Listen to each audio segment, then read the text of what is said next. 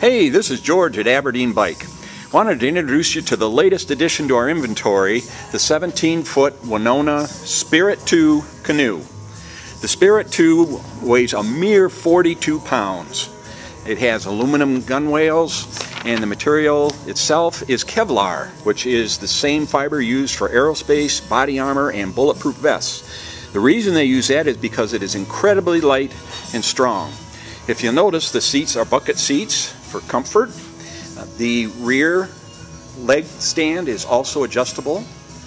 All the trimming is done in aluminum to help keep the weight down and keep the strength up. The yoke is made of ash. Here you'll see the front seat. The front seat is adjustable. The center depth on this is 14 inches, the bow is 22 inches, and the stern is 19 inches. Gives you plenty of room for touring and camping gear, all for the price of $2,699.99.